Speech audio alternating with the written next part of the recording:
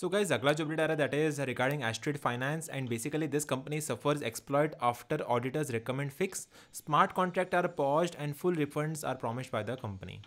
जिन लोगों को नहीं पता एस्ट्रेड फाइनेंस क्या है so basically this is a cutting edge project financial advisory form and you can see the main website over here so basically उनका जो यू आर एल है that is एस्ट्रेस finance dot com and they are in this space since last twenty years of track record in Latin America So basically this is an investment and transaction advisory services, infrastructure and energy. And this is basically all about the firm. So basically this firm is now suffering exploit regarding uh, uh, auditors and recommendation. So for that uh, they have been hit by smart contract pause and full refunds are promised because of the uh, loss on this company. So yeah, article update regarding uh, the Astrid Finance and this article is available on Binance Square for you to check it out in detail.